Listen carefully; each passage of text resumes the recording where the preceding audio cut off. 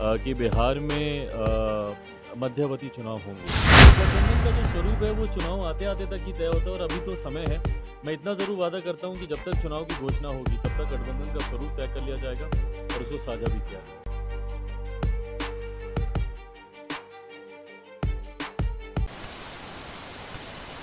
किया जाएगा।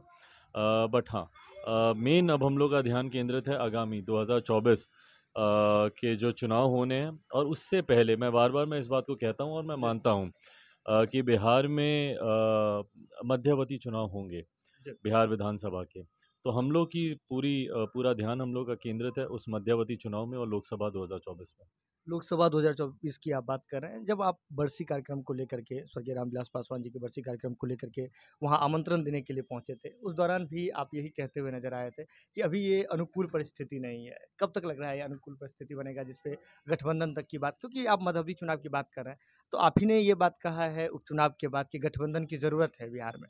कहाँ जा रहा है आपका भाई देखिए एक जनरल प्रैक्टिस है। ऐसा नहीं कि सिर्फ़ मेरी पार्टी के साथ ही है। एक जनरल प्रैक्टिस है कि गठबंधन का स्वरूप चुनाव से ठीक पहले तय होता है और उसको साझा किया जाता है।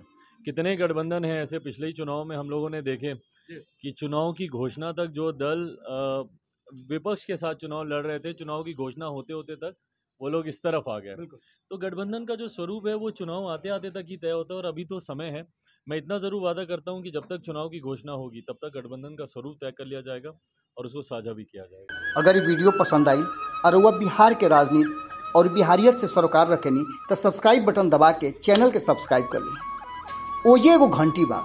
ओकरा बटन दबा देला से कुल सटीक और मारक खबर रुआ मुफ़्त में मिल जाई।